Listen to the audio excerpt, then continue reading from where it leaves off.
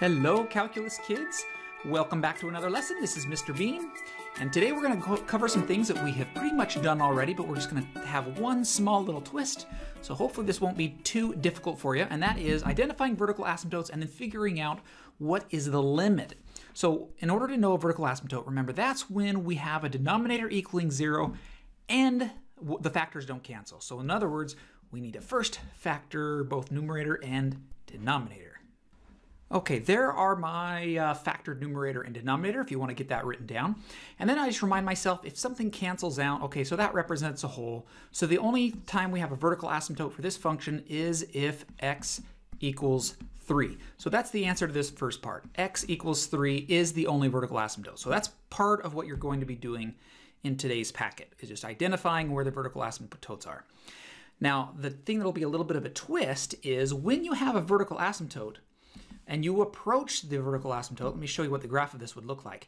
You have the graph either pushing down or up, down towards negative infinity or up towards positive infinity. And you have to figure out which one it's doing without having the graph or without having a graphing calculator. So could you just do that? Just looking at this, would you know? Well, no, I wouldn't. I mean, it take you have to be pretty good at that stuff to know if it's pushing pushed up or pushed down for towards infinity or not, negative infinity. So if we look at the graph, this one's pretty simple we're approaching 3, and right here we have this vertical asymptote at x equals 3, and we're approaching 3 from the left side, so we're coming this direction, and it's pushing down towards negative infinity. So that one's easy by looking at the graph, and then same with this one. If we're on the right side and we push back towards it, it's going up, so that one is a positive infinity. Okay, so boom, boom. So those the answers to those one-sided limits. Now, if I had, I don't have it on this one, I'm going to do that an example in just a minute, but if I had the limit as x approaches 3, just of 3 of f of x, maybe you can write that down on the side of your notes if you wanted, then the answer to this would be does not exist. DNE, if you wanted to abbreviate. It does not exist because the left side and the right side are not the same thing, so you couldn't have a specific value for that limit. Okay, so now let's do this without the use of having the graph in front of us. So this first one, we remember what we're doing is trying to figure out if we have a vertical asymptote, and we do. We have a vertical asymptote at x equals 3 for sure, uh, because there's nothing that cancels here. So what I want is to figure out what is it doing. So is it is the graph at x equals 3, 1, 2, 3, is it pushing down? Is it pushing up? Oh, only from the right side. So as I approach this direction, is it pushing up like that? Or maybe it's pushing down like that. So which one is this? Okay, so let's get rid of that.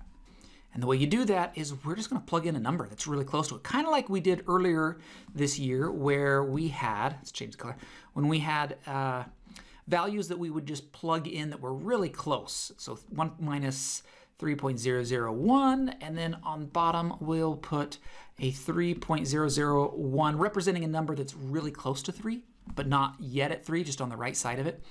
And so that's what this is. The limit is approximately this. So what do we get on top? We're going to have a negative 2.001. And on bottom, we're going to have a number that's really close to 0, but it is positive, 001. So you can see it's really tiny and small, but it is positive because 3.001 minus 3 is still positive. So then this represents, the limit would represent a negative number on top divided by a positive is a negative, and it is then infinity. 2, basically the number 2, divided by really, really small, almost 0. That is going to be negative infinity. All right, now next one, 5. This is the most complicated as it gets. So uh, let's factor this thing because it usually makes this easier if you can look at the factors. So we have an x minus 3 on top and on bottom, it's x minus 1 times x minus 1. All right, nothing cancels out, so we got to use this whole thing. And the first thing is write small here because I didn't really give you enough room. Sorry about that. Write kind of small. So we're going to have the limit as x approaches 1 from the positive side. Uh, of instead of rewriting this whole thing, let's just call this f of x so I can be a little bit lazy and not rewrite that. So we're going to approach the number 1 from the right side first. And uh, so we know one is a vertical asymptote because they don't cancel. And if we do that, then let's go ahead and say that this is going to be approximately uh, 1.001 minus 3 all over. So I'm using the this expression here, this little factor. Uh, so this is going to be 1.001 minus 1, and then it's squared since there's two of them. If it wasn't if it wasn't the same thing, I'd just have to write that next factor out. All right, so now what? This is going to be approximately, this is negative, what is that? 1.999? Yeah, all over. And then on bottom here, I'm going to have uh, 0.001 squared. So what I have now is a negative almost 2 divided by a really small number that's squared, which makes it even smaller. So this is definitely negative number divided by super small positive number. This is approaching negative infinity. Okay, now that was just the right side. So I also have to check the left side. So as x approaches 1 of the left side of 1 of this expression, we'll call it again f of x, then that's approximately, now I just do the same thing, but I'm going to start on the left side of 1. So that would be 0.999 minus 3 all over well, that was sloppy. All over uh, 0.999 minus 1 quantity squared. That's going to be approximately negative 2.001 on top. And on bottom, I now have a negative number that's really close to 0, so it's really small, squared. Now, some of the stuff you could do in your head, some you're going to be pretty good at it. You can just do things in your head and write down a few things. But the idea is to I'm showing you the work so you know uh, you, you know a little bit of an idea of what you would be doing in your head. Okay, so then what does this equal? This is a negative number divided by a really small positive number. Why is it positive? Because you're squaring it.